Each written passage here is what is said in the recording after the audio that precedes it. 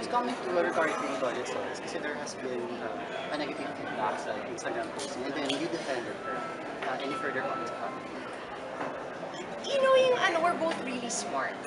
I think. And I, I told her that directly. Na sabi ko, I think may tao lang or may grupo lang na ayaw kami maging friends. And I think that's, kasi di ba ganun naman yun? Na parang um, gagawa ko ng paraan na huwag maging okay itong dalawang taong to. Kasi mas mas exciting pag hindi nila trip ang isa't isa.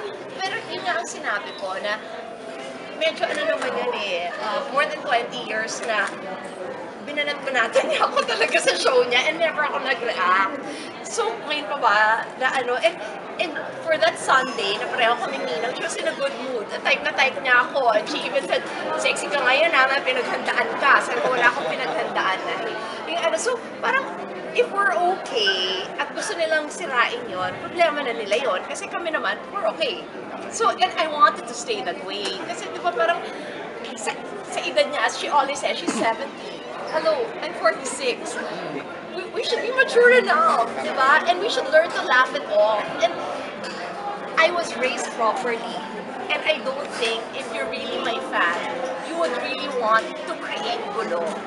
Kasi kung mahal mo si Chris, matutuwa ka nga na, oh my God, itong girl na to, or itong, ah, si Miss Lolit Solis na dati tinitira-tira si Chris, parang natuwa kay Chris ngayon, matutuwa ka, di ba? So yun, so, I'm happy we're okay.